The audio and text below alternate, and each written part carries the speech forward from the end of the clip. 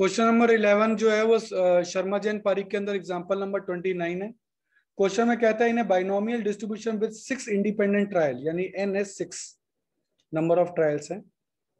The probability of three and four success यानी probability of three and probability of four आपको respectively दे रखी है point two four five seven point zero eight one nine find the parameter p of the binomial distribution p बताइए, ठीक है।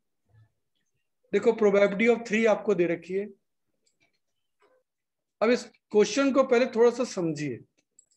Mathematically अगर मैं इसको लिखना चाहूँ कि छह टोटल इवेंट में से तीन सक्सेस मिल जाए, इसकी प्रोबेबिलिटी है point two four five seven six C three तो इसका मतलब पी थ्री आएगा और क्यू भी थ्री आएगा टोटल छह है तो अगर तीन बार आप सक्सेस हो गया तो तीन बार आप फेलियर भी होंगे। अब सिक्स सी थ्री की वैल्यू आपने लिख दी।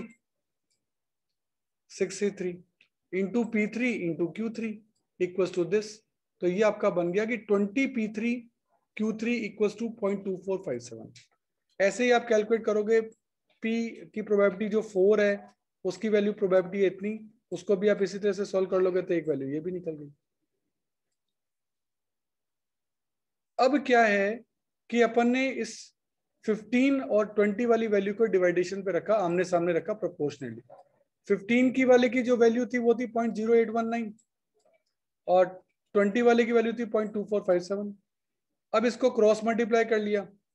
अच्छा इस 20 और 15 की वैल्यू छोटो, छोटी कर दो, पाँच से काट दो तो थ्री और फोर ही रह जाएगा। ठीक है? P3 से P4 कट गया तो केवल ऊपर P बच गया। और Q2 से ये Q3 वाला टू कट गया तो यहाँ केवल नीचे Q बच गया। तो इनको आपस में सोल्व कर दिया ये अपन ने पूरा।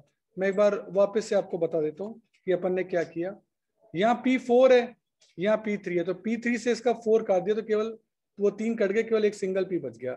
यहाँ Q2 है, यहाँ Q3 है तो Q2 से थ्री काट दिया तो सिंगल Q बच गया। तो ऊपर तो P बचा, नीचे Q बचा, और इनका आपस का जो रिलेशन है ना, छोटी कैलकुलेशन ये एग्जैक्टली इसका थ्री टाइम्स है। तो वन अपॉन थ्री कर दिया। आप चाहो तो ये कैलकुलेशन ना भी करो तो भी चलेगा। ठीक है? अब थ्री पी इंटू तीन nine p four q into one four q तो nine p equal to four q कैसे निकलता है? क्यू निकलता है वन माइनस पी से। तो क्यू की जगह लिख दिया वन माइनस पी तो नाइन पी इक्वल टू अब फोर को मल्टीप्लाई कर दो फोर माइनस फोर पी ये फोर पी यहाँ के माइनस का है तो यहाँ के प्लस हो जाएगा तो ये हो जाएगा thirteen p equal to four so p equal to four by thirteen अब p equal to four by thirteen है तो q कैसे निकलता है? वन माइनस पी ये p की वैल्यू यहाँ पुट कर दो।